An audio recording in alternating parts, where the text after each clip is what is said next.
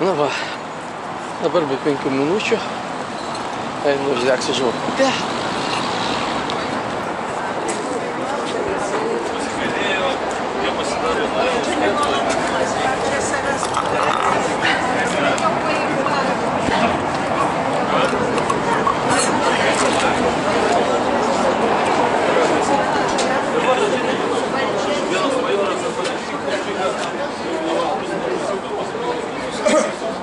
Šitos vietos nudaužė paminklinę lentą.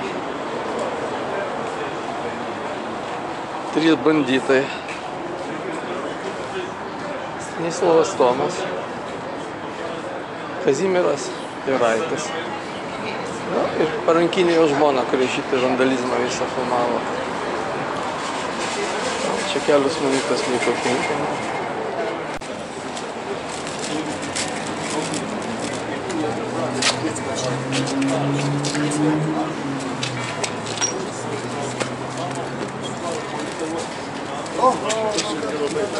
Vėliavėlė, kaip tai reiks, Jona, šitą gedimą turbūt tą vėliavėlę.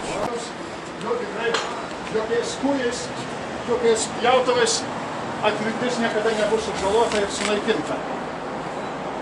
Taip kad šitoje vietoje kviečiu iki tol, kol bus atstatyta buvusi Jonui Nareikui, generolui Vėtrai atminimo lenta, ateikim kasdien po žvakelę, po gėlytę, gerbkim jo atminimą ir lauksim kada vėl šitoje vietoje bus pastatyta lenta. Gerbėmieji, galbūt kas nors daugiau pasisakys, čia gal gintaras yra. Tokia tu kaip himnas. Himna, jo. Iš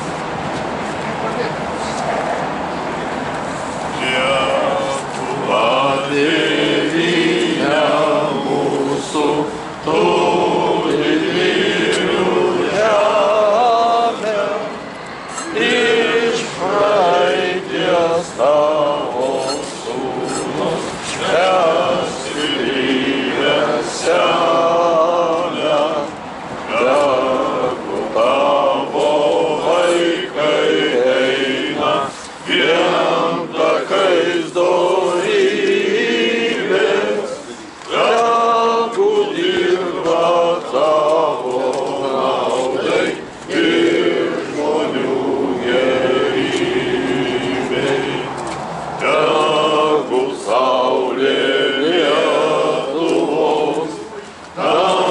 Tamsumas prašalina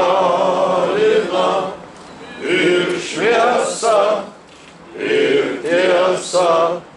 Mūsų žingsniuose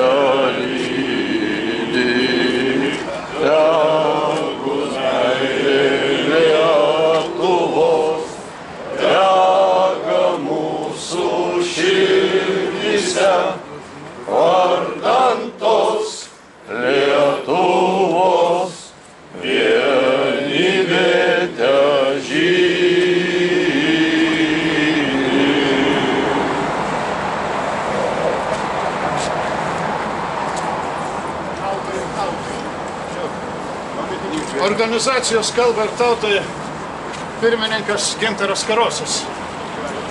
Žodelį paprašysim tarti. E, Vėlėjai, iš tiesų esame liudininkai baisių dalykų.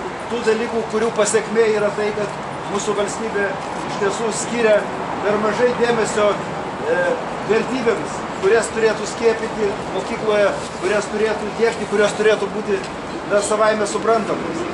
Kadangi atstovauju talką kalbą ir tautai, tai pirmiausia kalba, kada pradedama kvestionuoti ar ta kalba turėtų išlaikyti savo pozicijas lietuvių kalba, ar jinai turėtų būti kažkaip susilpninta, ar ten mes galim vėlgi vienai par kitai prašyti. Tai, tai vėlgi esminiai dalykai. Dabargi, na, pasikesinama tiesiog primityviai ir brutaliai į vieną iš mūsų, na, tautos didvyrių. Bet čia, žiūrėkite, kokia pasiekmė. Tai tikriausiai bandymas, na, sukiršinti mūsų visuomenę, kad, kad e, ir taip mes neturime, tikrai negalim pasigirti per dideliu sutelktumu, o dar įvykus tokiems dalykams, vėlgi galbūt mes dar labiau būsime įskaidyti ir dar labiau būsime silpni. Taigi, na, tikrai kviečiu visus e, kad tai būtų, kad tai mūsų, kaip sakyti, tiems nedraugams, kurie nori, kad Lietuvos valstybė nebūtų stipri, kad tai nebūtų akstinas mūsų skaldyti, kad mes dar labiau na, susitelktumėm ir dar labiau nei žingsnio nesitrauktumėm atgal.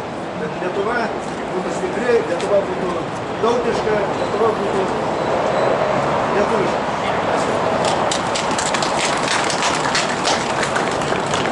Ir dar reikėtų pažymėti, kad tokiais brutaliais atvejais niekada dar niekas nėra išgarsėjęs. Mes turim puikų istorinį pavyzdį, kaip Graikijoje buvo sudeginta Dzeuso šventikla.